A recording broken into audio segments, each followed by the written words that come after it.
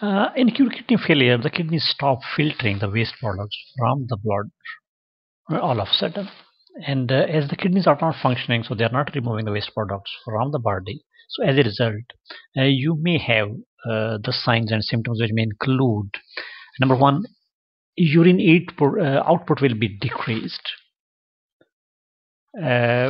but sometimes it remains normal fluid built up in the body, which can cause the legs to swell, uh, or maybe swelling on the ankles and swelling on the uh, feet.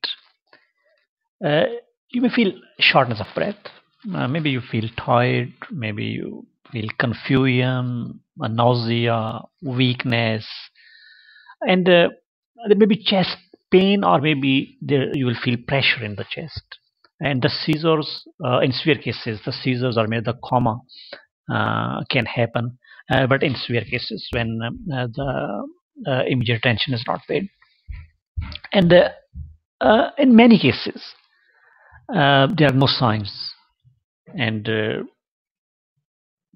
usually it's detected through the lab tests, which are done for some other reason and the doctors find that uh, uh, there is a buildup of the waste products in the body, uh, in the blood. So fluid retention, uh, decreased urine output, nausea, vomiting, weakness, irregular heartbeat, chest pain, seizures or coma. So these are the common signs and the symptoms.